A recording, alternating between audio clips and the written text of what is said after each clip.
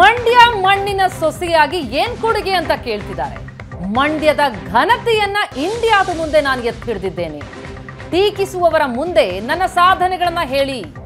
ಮಳವಳ್ಳಿ ಸೊಸೆ ಮಳವಳ್ಳಿಯ ಋಣ ತೀರಿಸಿದಾಳೆ. ನನ್ನ ಸಾಧನೆಗೆ ಸಾವಿರಾರು ಜನ ಬೆಂಬಲಿಸಿದ್ದಾರೆ. ಹೀಗಂತ ಬೆಂಬಲಿಗರ ಸಭೆಯ ಭಾಷಣದ ವೇಳೆ ಭಾವುಕರಾಗಿ ಸುಮಲತಾ ನುಡಿದಿದ್ದಾರೆ.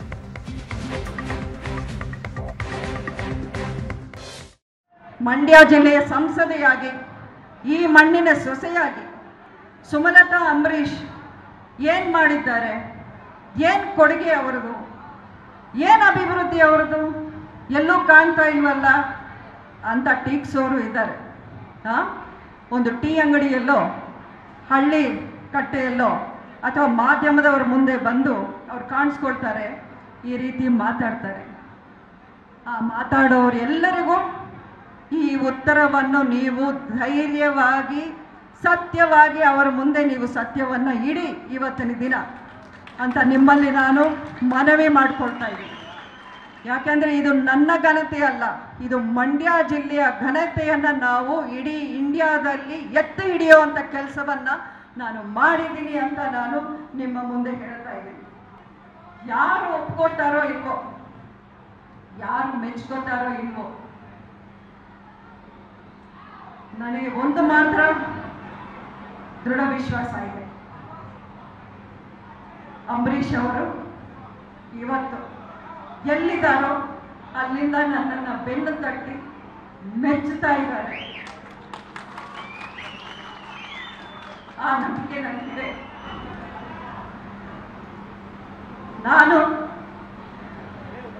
ಹುಚ್ಚೇಗೌಡರ ಸೊಸೆಯಾಗಿ ನಿಮ್ಮ ಮುಂದೆ ಮತವನ್ನು ಆ ದಿನ ಕೇಳಿದ್ದೀರಿ ಆ ನಮ್ಮ ಮಾವನವರು ಅವರ ಸೊಸೆಗೆ ಹೆಮ್ಮೆಯಿಂದ ಇವತ್ತು ಆಶೀರ್ವಾದ ಮಾಡ್ತಿದ್ದಾರೆ ಅನ್ನೋ ದೃಢ ವಿಶ್ವಾಸ ನನಗಿದೆ.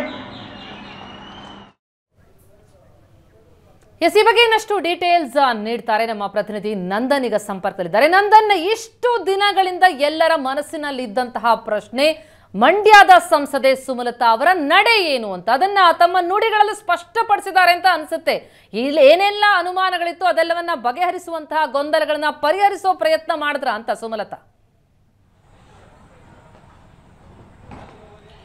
ಪ್ರತಿಮಾ ಖಂಡಿತವಾಗ್ಲೂ ಕೂಡ ಮಂಡ್ಯ ಬಿಜೆಪಿ ಟಿಕೆಟ್ ಸುಮಲತಾ ಕೈತಪ್ಪಿದೆ ಸುಮಲತಾ ಮುಂದೆ ಏನ್ ಡಿಸಿಷನ್ ಮಾಡ್ತಾರೆ, ಅವರ ರಾಜಕೀಯ ನಡೆ ಏನಾಗಿರುತ್ತೆ ಅನ್ನುವಂತಹ ಕುತೂಹಲ, ಸಾಕಷ್ಟು ಪ್ರಶ್ನೆಗಳು ಎಲ್ಲರಲ್ಲೂ ಕೂಡ ಇತ್ತು. ಈ ಎಲ್ಲ ಪ್ರಶ್ನೆಗಳಿಗೆ, ಅನುಮಾನಗಳಿಗೆ ಸುಮಲತಾ ಅವರು ತೆಳೆ ತೆರೆ ಎಳೆಯುವಂಥ ಪ್ರ, ಪ್ರಯತ್ನವನ್ನು ಇವತ್ತು ಮಾಡಿರ್ತಕ್ಕಂಥದ್ದು ಭಾಳಷ್ಟು ಸ್ಪಷ್ಟತೆಯನ್ನು ಅವ್ರ ಮಾತುಗಳಲ್ಲಿ ಇವತ್ತು ನಾವು ನೋಡಿದ್ವಿ. ಅಂದರೆ ಸುಮಲತಾ ಅವರು ಭಾಳಷ್ಟು ಪ್ರಾಕ್ಟಿಕಲ್ ಆಗಿ ಅವರ ಬೆಂಬಲಿಗರಿಗೆ ವಾಸ್ತವವನ್ನು ಅರ್ಥ ಮಾಡಿಸುವಂತಹ, ಆ, ಪ್ರಯತ್ನವನ್ನು ಕೂಡ ಮಾಡಿದ್ರು. ಅಂದರೆ ಬಿ ಜೆ ಪಿಯ ಟಿಕೆಟ್ ಕೈ ತಪ್ಪಿದೆ. ಈಗ ಪಕ್ಷೇತರವಾಗಿ ಸ್ಪರ್ಧೆ ಮಾಡುವಂಥದ್ದು ಭಾಳಷ್ಟು ಕಷ್ಟಕರ ಆಗುತ್ತೆ. ಸುಲಭದ ಆ, ಮಾತಲ್ಲ ಅಂದರೆ ಕಾರ್ಯಕರ್ತರ ಭವಿಷ್ಯದ ದೃಷ್ಟಿಯಿಂದ ನಮ್ಮ ಜಿಲ್ಲೆಯ ಅಭಿವೃದ್ಧಿ ದೃಷ್ಟಿಯಿಂದ ನಾನು ಬಿ ಜೆ ಪಿಯನ್ನು ಸೇರ್ತಿದ್ದೀನಿ ಅನ್ನುವಂಥ ಮಾತನ್ನು ಕೂಡ ಅವರು ಹೇಳಿರ್ತಕ್ಕಂಥದ್ದು.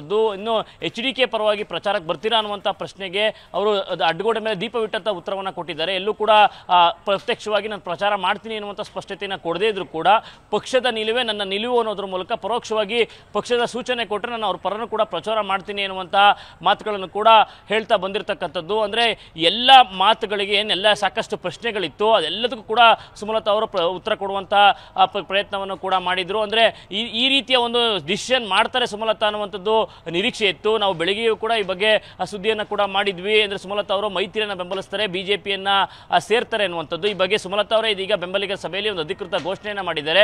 ಮುಂದಿನ ವಾರ ಬಿ ಜೆ ಪಿ ಸೇರ್ಪಡೆ ಆಗ್ತೀನಿ. ಬಿ ಜೆ ಪಿ ಪಕ್ಷವನ್ನು ಸೇರಿದ ಬಳಿಕ ಮೈತ್ರಿ ಅಭ್ಯರ್ಥಿಯನ್ನು ಬೆಂಬಲಿಸಬೇಕು ಬೇಡ ಅನ್ನೋದ್ರ ಬಗ್ಗೆ, ಪ್ರಚಾರ ಮಾಡಬೇಕು ಬೇಡ ಅನ್ನೋದ್ರ ಬಗ್ಗೆ ನಿರ್ಧಾರ ಮಾಡ್ತೀನಿ. ಅನ್ನುವಂಥದ್ದು ಬಗ್ಗೆ ಒಂದು ಸ್ಪಷ್ಟತೆಯನ್ನು ಕೂಡ ಆ, ಕೊ- ಕೊಟ್ಟಿರ್ತಕ್ಕಂಥದ್ದು. ಆ ಮೂಲಕ ಏನೆಲ್ಲ ಪ್ರಶ್ನೆಗಳಿತ್ತು ಸುಮಲತಾ ಅವರ ರಾಜಕೀಯ ನಡೆ ಬಗ್ಗೆ ಅದೆಲ್ಲದಕ್ಕೂ ಕೂಡ ಸುಮಲತಾ ಅವರು ಉತ್ತರವನ್ನು ಕೊಟ್ಟಿರ್ತಕ್ಕಂಥದ್ದು Pratima. Thank you so much Nandan ತಮ್ಮೆಲ್ಲ ಮಾಹಿತಿಗೆ.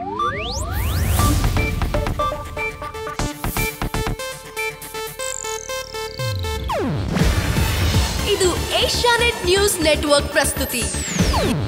ನೀವು ನೋಡ್ತಿದ್ದೀರಾ ಏಷ್ಯಾ ನೆಟ್ ಸುವರ್ಣ ನ್ಯೂಸ್.